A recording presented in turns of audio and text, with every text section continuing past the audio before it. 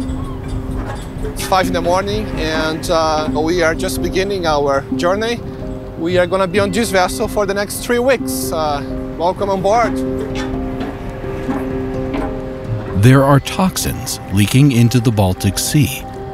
But where are they coming from? Two, three, four, five, six, seven, eight, nine. That is what Isaac Santos is going to find out. Yeah, so I'm Isaac, I'm the chief scientist, as you know.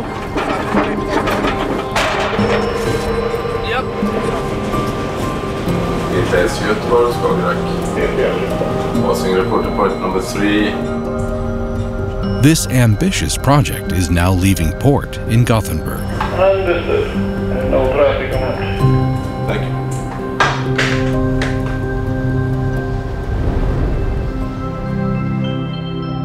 The researchers will be traveling along the entire coastline of the Baltic Sea.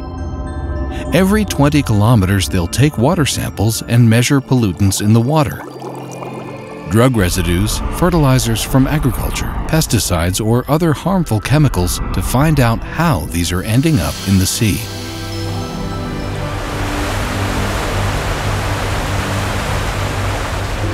We often think that pollution comes from the rivers into the Baltic. Our goal is to look into groundwater to quantify how much pollution is coming from the continents via groundwater into the Baltic. Groundwater is invisible because that's seeping out of the continent underwater, little drops everywhere. It seems like an impossible task, determining what is coming from groundwater after it has already flowed out into the sea.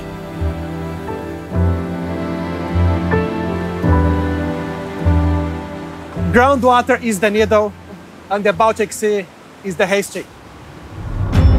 Alright, if we can, we bring them as far as possible this way. So we're going to start from station one. 001. Okay, perfect. This is called the CTD room. This is uh, the main lab. There will be five people working here all together. If I don't break anything. My lab's here. I'll show you the room. Uh, the room. Need to see how it will be, of course. Okay. Okay, so that's my cabin. Uh, I'll be sharing with uh, my colleague uh, Hasse here. We have a bunk bed. Uh, I'm on top right, right here with my secret stash. In the cabin, Isaac Santos has his stash of candy, but it'll have to wait because now the ship is at the first sampling point.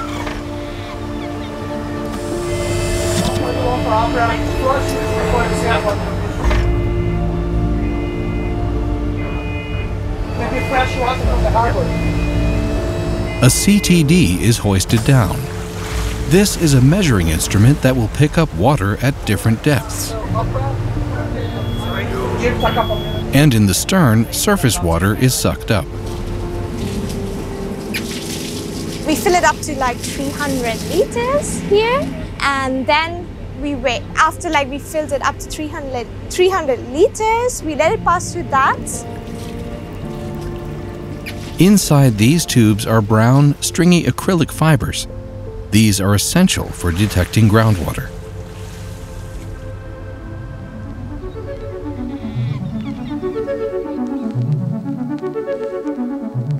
Groundwater has its own chemistry. It contains radium isotopes. To calculate how much groundwater is getting into the sea at any given stretch of coastline, the sample is strained through the filter, where all of the radium gets stuck in the acrylic fibers.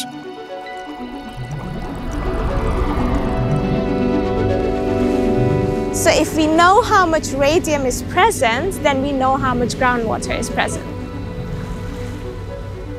But Isaac Santos doesn't just want to know how much groundwater is present.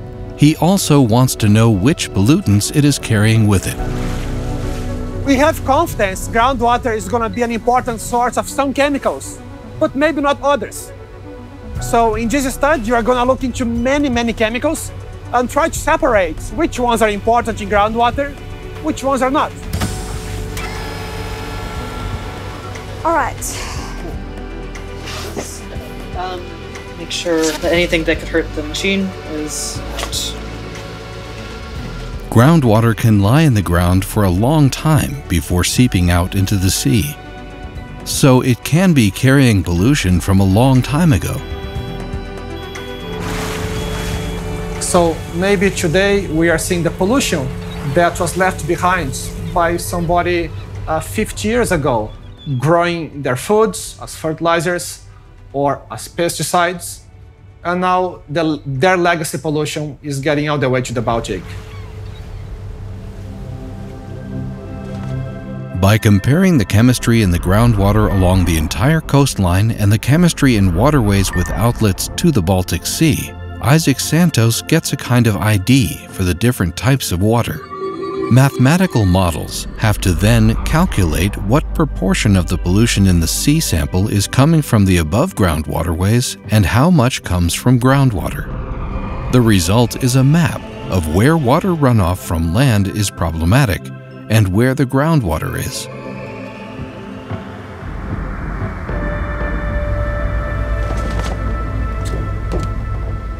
We're now going to be able to pinpoint many of those locations along the coast. And if you know that there is a problem, we can actually keep preventing that pollution for decades. And eventually, uh, we're going to have a cleaner Baltic Sea uh, by just shutting down the source. The first day of a three week trip is coming to an end. Starting tomorrow, Isaac Santos and his colleagues will work in shifts, and the sampling and analysis will continue around the clock in the hope of being able to help the Baltic Sea.